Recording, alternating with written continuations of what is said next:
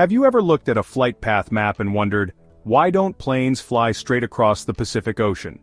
It's a question that has puzzled many travelers and aviation enthusiasts alike. At first glance, it seems like the most logical route would be a straight line from one point to another. After all, isn't the shortest distance between two points a straight line? It seems counterintuitive.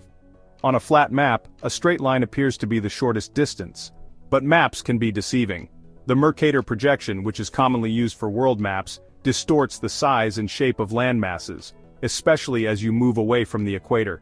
This distortion can make straight-line routes appear shorter than they actually are. However, the Earth isn't flat. This simple fact changes everything about how we navigate our planet, especially when it comes to air travel. The Earth is a three-dimensional sphere, and the shortest path between two points on a sphere is not a straight line, but a curve known as a Great Circle Route. These routes take into account the curvature of the Earth and are the most efficient way to travel long distances. This seemingly roundabout way of getting from point A to point B across the Pacific is not arbitrary. Great circle routes often appear curved when plotted on a flat map, but they are actually the shortest and most efficient paths. By following these routes airlines can save time and fuel, which are critical factors in the highly competitive aviation industry. Airlines aren't trying to be mysterious or add extra time to your journey. In fact, they are constantly looking for ways to optimize their flight paths. This involves complex calculations and considerations, including wind patterns, air traffic control regulations, and even geopolitical factors. The goal is always to find the safest, most efficient route possible. In fact, they are very calculated in their flight paths, prioritizing efficiency and safety above all else. Pilots and flight planners use advanced navigation systems and real-time data to make informed decisions about the best routes to take. This ensures that passengers reach their destinations as quickly and safely as possible, even if it means taking a seemingly longer path. So the next time you look at a flight path map and wonder why planes don't fly straight across the Pacific, remember that there's a lot more to it than meets the eye. The Earth is a sphere.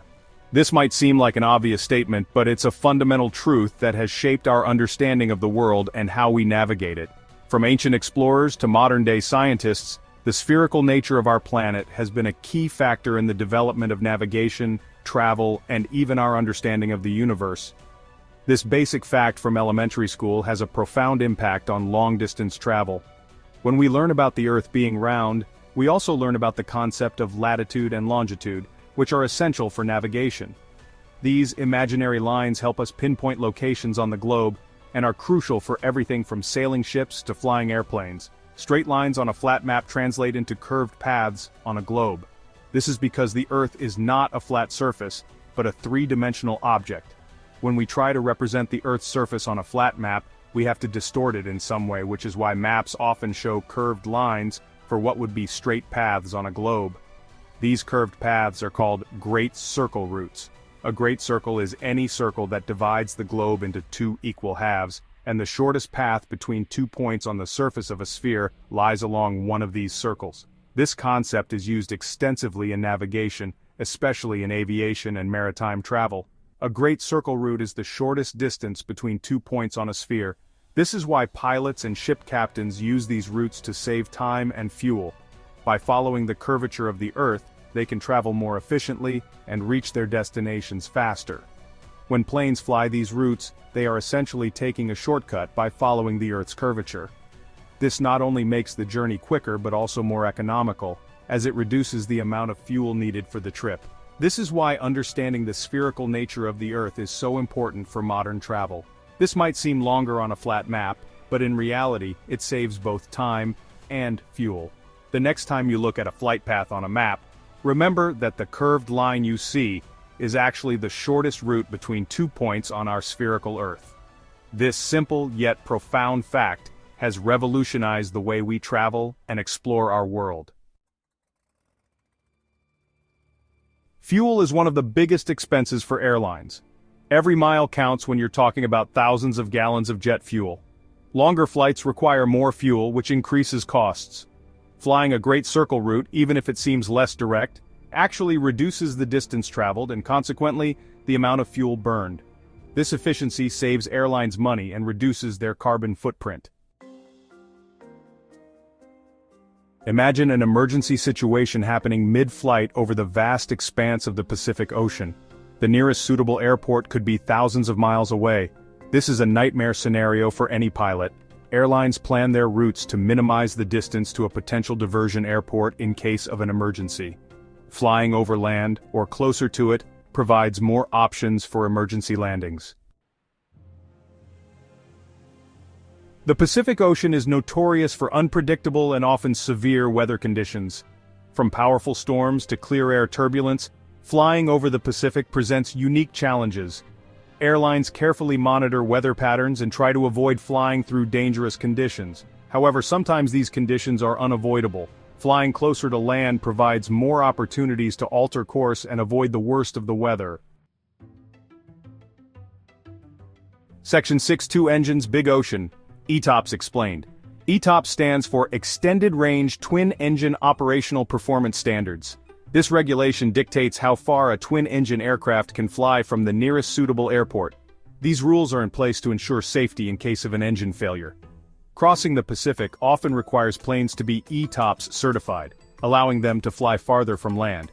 However, even with this certification, airlines still prefer routes that offer more options for diversion airports. Section 7. Riding the Wind. The Jetstream Express. High above the Earth, powerful winds called jet streams circle the globe. These winds can reach speeds of over 200 miles per hour. Pilots can take advantage of these jet streams to reduce flight time and save fuel. The location and strength of jet streams vary depending on the time of year and weather patterns. Airlines carefully analyze these factors when planning their flight paths to maximize efficiency and minimize turbulence. Section 8. Putting it all together. A balancing act. Determining the most efficient flight path is a complex calculation. Airlines consider a multitude of factors including distance, fuel costs, weather patterns, ETOPS regulations, and the location of jet streams. The goal is to find the optimal balance between speed, safety, and cost-effectiveness. Sometimes this means taking a seemingly roundabout route. However, rest assured, there is a method to the apparent madness of flight paths. Section 9. So, straight lines or scenic routes. The next time you glance at a flight path map and see planes seemingly taking the scenic route, remember that it's not about aesthetics. These routes are meticulously planned, taking into account a myriad of factors that ensure safety, efficiency, and cost-effectiveness. It's about a fascinating interplay of geography, physics, and aeronautical engineering. The Earth is not flat, and neither are the principles that govern flight. The curvature of the Earth means that what appears to be a longer route on a flat map is often the shortest path in three-dimensional space. This is known as a Great Circle Route. Airlines are constantly striving to optimize their routes and while flying in a straight line might seem ideal, the reality is far more nuanced.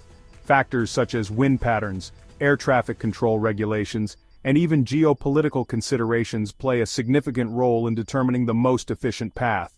For instance, flying with the jet stream can save fuel and time, while avoiding restricted airspace can be crucial for safety. The curved paths across the Pacific are a testament to the ingenuity of humans as we navigate our spherical planet and the skies above. These routes are not just about getting from point A to point B, they are about doing so in the most efficient, safe and economical manner possible. The next time you board a flight and see the route map, take a moment to appreciate the complex calculations and considerations that go into charting that path. It's a marvel of modern science and engineering, a blend of art and precision that keeps the world connected. Pilots and flight planners work tirelessly behind the scenes, using advanced technology and real-time data to make adjustments as needed. Weather conditions can change rapidly, and having the flexibility to alter the route can make a significant difference in the flight's outcome. This dynamic decision-making process is a critical aspect of modern aviation, so the next time you find yourself gazing out of the airplane window, remember that the path you're taking is the result of countless hours of planning and expertise. It's a journey through the skies that balances the wonders of nature with the advancements of human ingenuity. Whether it's a straight line or a scenic route, every flight is a testament to the incredible complexity and beauty of air travel.